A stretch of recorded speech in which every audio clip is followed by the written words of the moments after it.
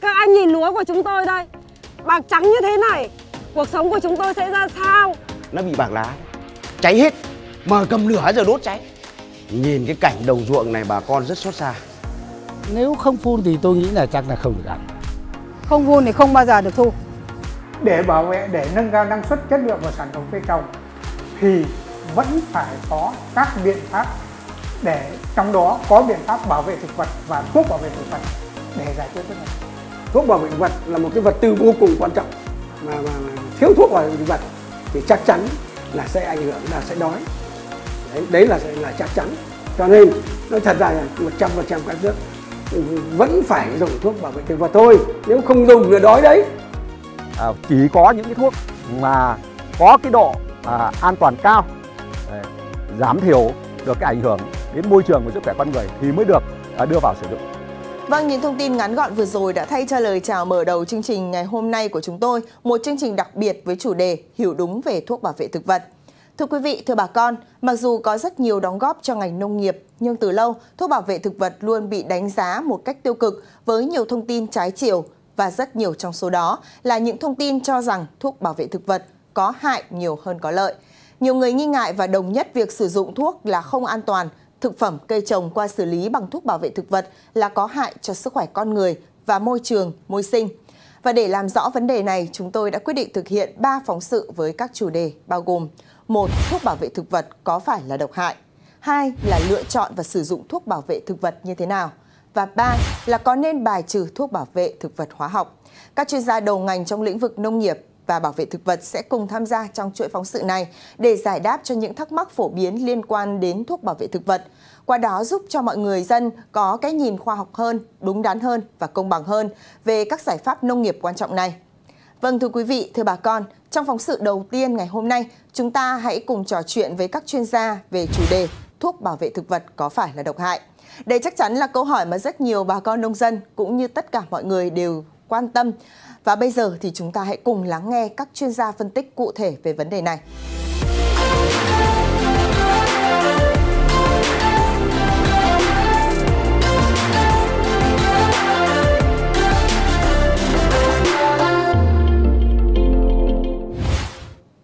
Vâng, câu hỏi đầu tiên mà chúng tôi đặt ra cho chuyên gia đó là có phải tất cả các thuốc bảo vệ thực vật đều là hóa chất độc hại hay không ạ?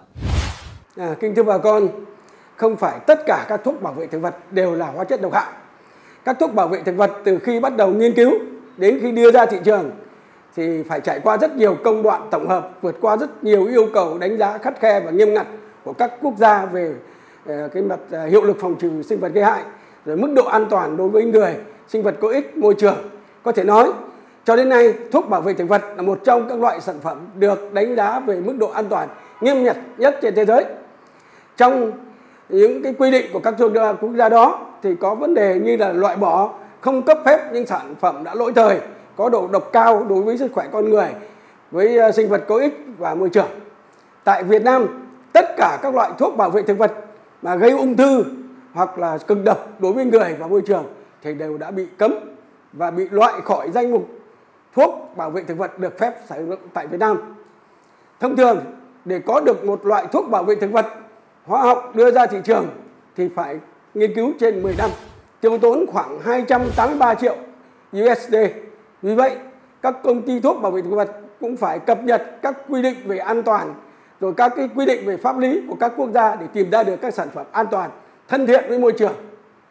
Thuốc, việc sử dụng thuốc bảo vệ thực vật đúng theo hướng dẫn của nhà sản xuất và theo nguyên tắc bốn đúng đúng thuốc đúng liều lượng đúng độ đúng lúc đúng cách và đảm bảo thời gian cách ly sẽ khắc phục được những cái tác động tiêu cực của thuốc bảo vệ thực vật đến sức khỏe con người và môi trường.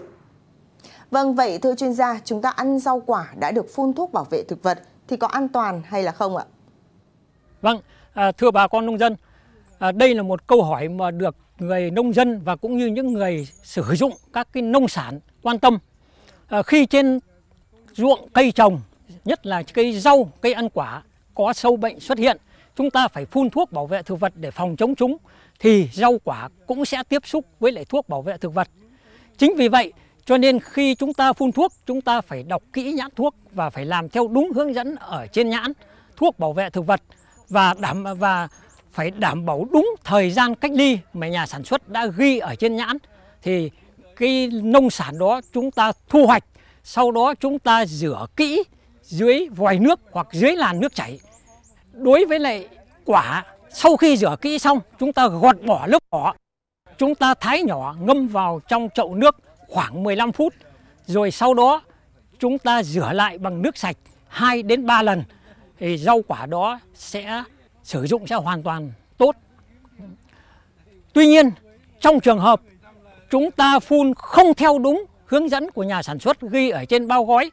đặc biệt chúng ta lại phun các cái thuốc mà không được phép sử dụng trên rau quả thì sử dụng các cái rau quả đó là sẽ không an toàn. Vâng, bên cạnh sức khỏe của con người thì việc à, bảo vệ môi trường và hệ sinh thái cũng đang là vấn đề được nhiều người quan tâm hiện nay. Vậy thưa chuyên gia, liệu việc sử dụng thuốc bảo vệ thực vật có gây hại cho môi trường hay không ạ? Vâng, à, kính thưa bà con nông dân, đây là một câu hỏi rất hay mà chúng ta thường gặp trong sản xuất khi phải sử dụng thuốc bảo vệ thực vật để phòng trừ dịch hại ở trên cây trồng. À, khi trên cây trồng của chúng ta có sâu hoặc bệnh xuất hiện, à, chúng ta có thể phải dùng đến biện pháp thuốc bảo vệ thực vật thì trước tiên bà con nông dân phải đọc kỹ hướng dẫn của nhà sản xuất đã ghi ở trên bao gói thuốc hoặc đã ghi ở trên nhãn thuốc bảo vệ thực vật. Như vậy chúng ta làm theo đúng hướng dẫn trên nhãn thuốc thì thuốc sẽ rất ít hoặc thậm chí không có hại cho môi trường. Nhất là khi chúng ta sử dụng các thuốc có nguồn gốc sinh học hay là các chế phẩm sinh học thành phần có chứa các vi sinh vật thì hầu như thuốc không ảnh hưởng đến môi trường mà thuốc còn có thể làm phong phú cái hệ vi sinh vật ở trong đất. Vâng thưa chuyên gia, như vậy chẳng hạn với thuốc trừ sâu hại thì liệu có gây hại cho các sinh vật có ích khác hay là không ạ? Đây là cũng là một cái câu hỏi hay và theo tôi nghĩ là cũng rất là đúng. Bởi vì trong sản xuất nông nghiệp thì sâu bệnh gây hại cây trồng làm cho mất và sử dụng thuốc bảo vệ thực vật thì có tác dụng ưu điểm của thuốc bảo vệ thực vật là bảo vệ mùa màng. Thế nhưng đặc biệt là đối với lại những cái loại thuốc mà có phổ tác động rộng thì có thể diệt được nhiều loại sinh vật hại khác nhau nhưng nó cũng lại có hại cho nhiều loại sinh vật có ích khác. Trong quần thể đồng ruộng ấy, thì sinh vật hại có mặt ở nhiều nơi bởi vì chúng sử dụng cây trồng làm thức ăn cho nên chúng có thể là có mặt ở trên lá, có mặt ở trên thân cây, có thể trên cành cây và thậm chí sinh vật ờ, ờ, những cái loại sinh vật hại rễ thì chúng sống ở trong đất. Thế cho nên là nông dân thì sử dụng nhiều cái loại thuốc bảo vệ thực vật khác nhau để phòng trừ các loại sinh vật này và cho nên ảnh hưởng tới quần thể vi sinh vật ở trong ở trong cây cũng như ở dưới đất. Những cái chỗ nào mà sinh vật hại có mặt thì lúc đó cũng là cái nơi cư trú của sinh vật có ích. Trong, nếu mà trong trong trong trường hợp, trong trong trường hợp ấy, thì nếu như mà sử dụng thuốc bảo vệ thực vật nhiều, sử dụng không đúng kỹ thuật, lạm dụng về thuốc thì sẽ gây hại cho sinh vật có ích. Trong bảo vệ cây trồng thì người nông dân cũng phải trở thành người nhà bảo vệ thực vật thông minh. Thứ hai nữa là cái thuốc đặc hiệu với lại sinh vật gây hại để để hạn chế cái tác hại của thuốc bảo vệ thực vật. Khi sử dụng thuốc ấy, thì người nông dân cũng phải chú ý hình cảnh báo trên nhãn thuốc là nó quy định về cái độ độc của thuốc như độ độc của thuốc là trên làm chia làm 5 nhóm từ độc độ độc cao đến độ độc thấp. Và chú ý đến, đến những cái hình à, những cái ký hiệu cảnh báo về độ độc đối với lại à, sinh vật thủy sinh và độ độc của thuốc đối với lại gia súc gia cầm để mà quyết định cái biện pháp lựa chọn cái thuốc xử lý Vâng, như chuyên gia vừa chia sẻ thì việc rau quả cần được phun thuốc theo đúng hướng dẫn sử dụng và đảm bảo đúng thời gian cách ly. Vậy các rau quả được sử dụng trong bữa ăn hàng ngày của chúng ta nếu được phun thuốc đúng cách như vậy thì còn tồn dư thuốc bảo vệ thực vật hay không? Và người tiêu dùng có nên lo ngại về mức dư lượng này hay không, thưa chuyên gia? Dạ vâng thưa bà con, trước tiên cần khẳng định thuốc bảo vệ thực vật được sử dụng trong nông nghiệp đã giúp nông dân tăng năng suất rất đáng kể và bảo vệ an ninh lương thực toàn cầu. Tuy nhiên, vẫn có một số những lo sợ về thuốc bảo vệ thực vật dư lượng thuốc bảo vệ thực vật có hại cho sức khỏe của người tiêu dùng. Như vậy trước tiên chúng ta cần hiểu dư lượng thuốc bảo vệ thực vật là gì. Dư lượng thuốc bảo vệ thực vật đó là một cái lượng thuốc bảo vệ thực vật còn sót lại sau khi chúng ta thu hoạch cây ăn quả, lúa, rau và một số cây uh, thực phẩm khác. Thông thường thì cái dư lượng bảo vệ thực vật này rất là nhỏ và thậm chí là không có. Nếu bà con nông dân chúng ta sử dụng đúng cái liều lượng, đúng cái nồng độ và đặc biệt là đúng cái thời gian cách ly theo khuyến cáo của từng loại thuốc. Các nhà khoa học người ta đã tính cái, cái lượng tương ứng về cái dư lượng thuốc bảo vật cho phép này là khoảng 1 hoặc 2 giọt nước trong một cái bể bơi tiêu chuẩn của Olympic hoặc là một hạt lúa mì trong 3 tấn lúa mì. Như vậy chúng ta có còn lo sợ gì về điều này hay không? Để một loại thuốc được sử dụng trong nông sản thì loại thuốc này phải đạt được cái dư lượng cho phép, và cái dư lượng này nó phải bảo đảm an toàn cho người tiêu dùng. Thì các cơ quan chức năng, người ta đã đưa ra và người ta xác định được cái mức an toàn này như thế nào. Đó, người ta lựa, dựa vào cái dư lượng thuốc bảo vệ thực vật cho một người có thể tiêu dùng, tiêu thụ trong cả suốt cuộc đời của họ, nhưng mà không nguy hại gì tới sức khỏe của họ.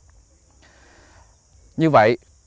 các mặt hàng trong siêu thị nếu mà đạt được cái dư lượng thuốc bảo vệ thực vật cho phép thì chắc chắn nó sẽ an toàn cho sức khỏe con người. Khi cả người tiêu dùng này họ tiêu thụ người ta ăn hoặc người ta tiếp xúc với cái dư lượng thuốc bảo vệ này thì vẫn an toàn.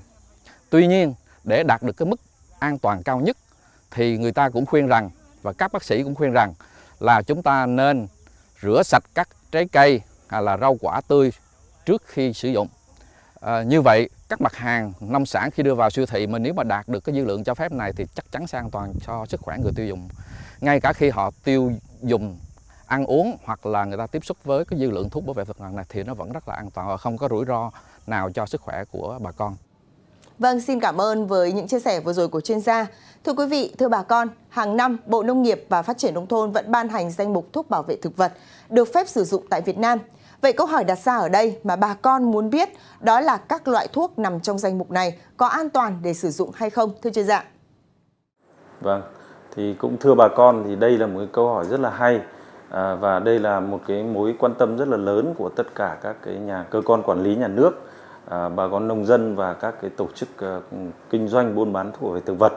thế thì à, à, thứ nhất thì à, thuốc bảo vệ thực vật thì à, hiện nay thì được quy định nó là hàng hóa nhóm 2 và sẽ được ờ, quản lý chi tiết bằng danh mục. Ở hiện nay thì trong thông tư thì ờ, đang có hai cái ban hành kèm theo thông tư sẽ là hai cái danh mục chính. Thứ nhất là danh mục thuốc bảo vệ thực vật được phép sử dụng tại Việt Nam và danh mục thuốc bảo vệ thực vật cấm sử dụng tại Việt Nam. Thì trong quá trình sử dụng buôn bán nhập khẩu lưu thông sẽ căn cứ toàn bộ các cái dựa trên các cái uh, sản phẩm được công bố ở trong cái danh mục này. Thì toàn bộ uh, trong cái quá trình mà đăng ký nhập khẩu sản xuất buôn bán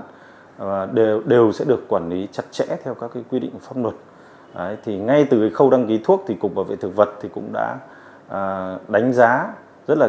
cụ thể chặt chẽ và chi tiết về cái mức độ nguy hại vật lý sức khỏe con người môi trường dựa trên các tài liệu nghiên cứu của các cái nhà sản xuất. À, và đặc biệt là các cái tài liệu này sẽ được tham chiếu với các cái tài liệu của tổ chức quốc tế và các cái nhà nghiên cứu thì ờ, các cái thuốc bảo vệ thực vật có cái nguy cơ cao và ảnh hưởng đến sức khỏe con người, vật nuôi, môi trường và hệ sinh thái thì sẽ đều không được ờ, xem xét ờ, đăng ký vào danh mục thuốc bảo vệ thực vật được phép sử dụng tại Việt Nam. Thì hàng năm thì cục bảo vệ thực vật thì cũng sẽ liên tục cập nhật thông tin nghiên cứu công bố của các cái tổ chức quốc tế về đánh giá nguy cơ giám sát đối với toàn bộ các cái thuốc bảo vệ thực vật đang sử dụng tại Việt Nam. Thì thông qua tất cả các cái kênh thông tin từ các cái kênh thông tin của các cái tổ chức quốc tế người ta sẽ công bố ví dụ như uh, các cái tổ chức FAO, WHO, Rotterdam uh, và hiện nay thì uh, uh, ngoài các cái thông tin cập nhật từ các cái tổ chức nghiên cứu công bố ở trong nước và quốc tế thì Việt Nam cũng đang là tức là thành viên rất là tích cực của các cái tổ chức như WHO, FAO, Rotterdam, Basel và Montreal về việc cấm sử dụng và loại bỏ các cái thuốc nguy cơ cao. À, như vậy thì đối với các cái thuốc bảo vệ thực vật đăng ký vào danh mục thuốc đang được sử dụng à, đều sẽ được cập nhật thông tin một cách liên tục và đầy đủ từ các cái nghiên cứu từ trong nước, các tổ chức quốc tế để à,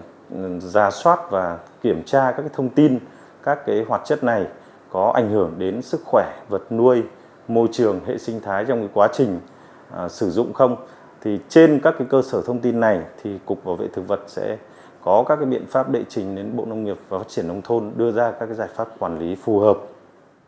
Vâng, xin trân trọng cảm ơn chuyên gia đã dành thời gian trả lời rất cặn kẽ những thắc mắc của bà con nông dân. Và đến đây thì thời lượng của chương trình ngày hôm nay cũng xin được tạm dừng. Cảm ơn quý vị và bà con đã chú ý theo dõi. Xin hẹn gặp lại bà con trong các số tiếp theo của loạt phóng sự với chủ đề Hiểu đúng về thuốc bảo vệ thực vật.